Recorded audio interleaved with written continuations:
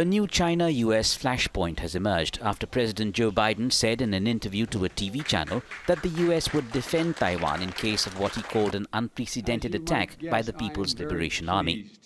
POTUS's comments have been viewed as diluting Washington's decades old policy of strategic ambiguity on Taiwan. Biden's comment also flies in the face of Chinese President Xi Jinping's stated dream of unifying the breakaway Republic of Taiwan with the mainland.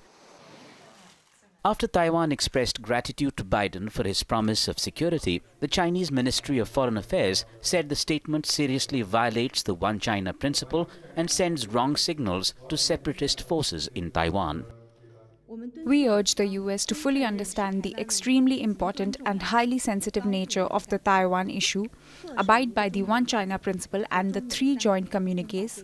earnestly follow through the commitment made by US leadership not to support Taiwan independence, handle Taiwan related issues prudently and properly, and not to send any wrong signals to the separatist forces of Taiwan independence so as to avoid further damage to China US relations and peace and stability in the Taiwan Strait.